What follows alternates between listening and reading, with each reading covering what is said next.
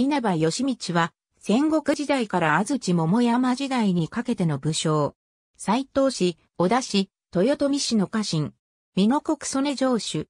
安藤森稲荷氏家直元と合わせて、西美濃三人衆と並称された。号は一徹。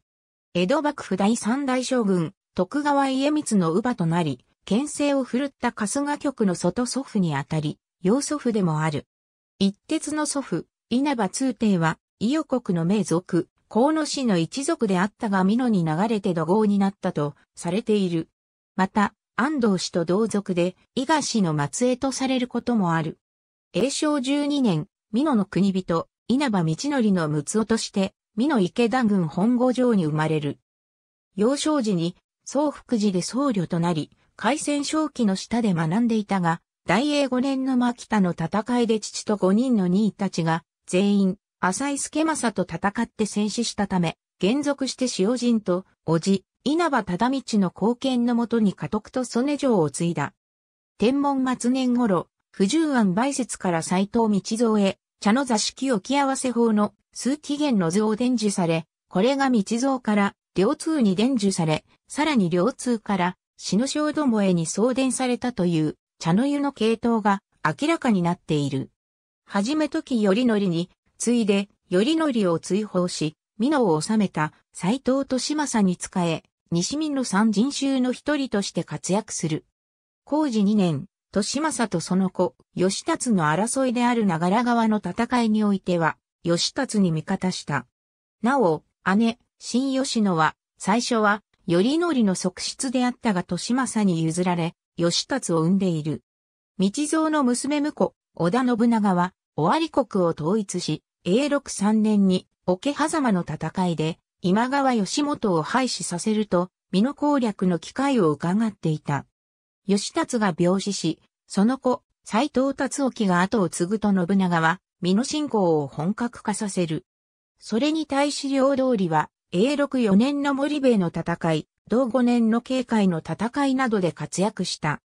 しかし、永禄6年に、他の西見の三人衆と共に、達興に還元するものの聞き入れられず、それは、翌年の竹中重春と安藤森成による稲葉山城選挙につながる。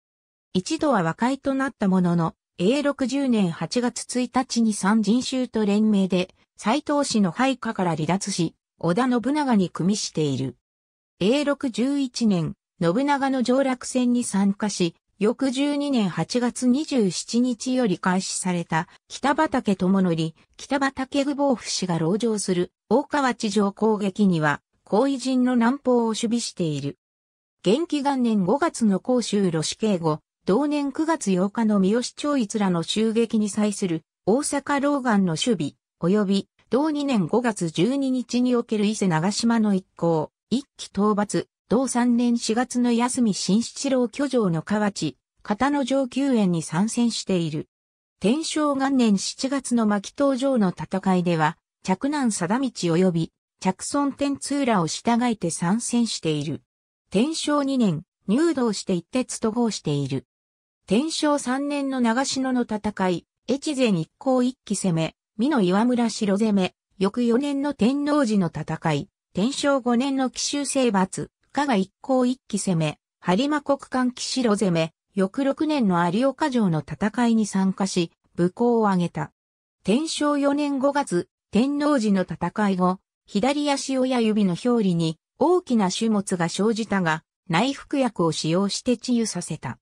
しかもこの成果について、治療実践に際する用途を3例に区分し、その症例と薬種の配味、効能を書き留めている。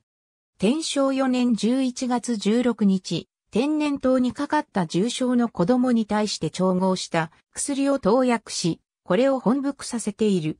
天正7年、家督と曽根城を着手の定道に譲り、美濃清水城に移る。天正10年、武田攻めより外戦した信長を、領内の六の私にて共応する。天正8年、安藤森成が北方城を追われ、麦軍谷口に窒居した後、信長は一鉄に安藤氏の給料を与えた。この時点で一鉄の勢力は、性能最大のものとなる。以後、性能書士の多くは信長によって一鉄につけられたものと考えられる。天正10年に明智光秀が本能寺の変を起こし、信長が応死すると、一鉄は美濃国人衆に呼びかけて、岐阜城に老いの斎藤と修行を擁立し、光秀に対して独立を保とうと画策する。かつて信長に追放され、稲葉領内に滞在していた安藤森成の一族が復権を目指して光秀と手を組み、丘陵の北方城を奪還し、本田城を攻撃してきたため交戦し、勝利、森成等を廃止させた。中央では光秀が山崎の戦いで早々に撃たれたが、信長の死で統制を失った美濃では、諸将の衝突が頻発することになった。一徹は、娘婿の伊備城主、堀池藩の城と戦い、その領地を支配下に置いた。外村の服を稲葉家に引き取り、服は成人するまで、美濃清水城で過ごしたとみられる。月経院の墓所天正10年の清須会議の後、織田信孝が岐阜城を相続し、美濃は支配下に置かれるはずだったが、一徹は信孝と対立を深める羽柴秀吉に従うようになる。翌11年、静ヶ岳の戦いでは、信孝から城下の焼き討ちを受けている。柴田勝家方の風足の西補助を攻めた。新たに岐阜城主となった池田恒興とは、恒興が大垣城主の頃からも境界線についての構想があったが、仲介に当たった秀吉から4万貫の領地が安堵されている。天正12年、小牧、長久手の戦いにも参加し、武功を挙げた。天正13年に、秀吉が関白になると、法院に除され、三味法院と称した。